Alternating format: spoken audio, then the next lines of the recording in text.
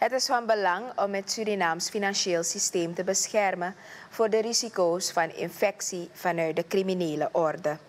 Dit stelt Roy Bayanat Pandey, coördinator van de Project Implementatie Unit PIU van het Anti-Money Laundering programma. Hij sprak eerder deze week met de pers bij de aanbieding van het NRA-rapport aan de regering. Volgens Bainat Pandey mag Suriname niet achterraken op het gebied van bescherming tegen infecties als het aankomt op de criminele orde.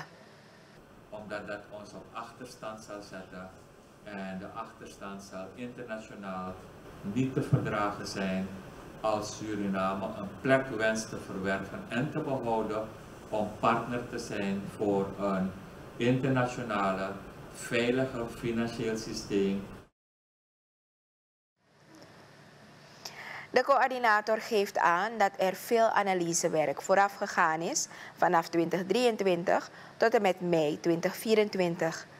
Eerst is nagegaan welke stakeholders vanuit de overheid een rol hadden voor het aanleveren van informatie en data over het financieel systeem.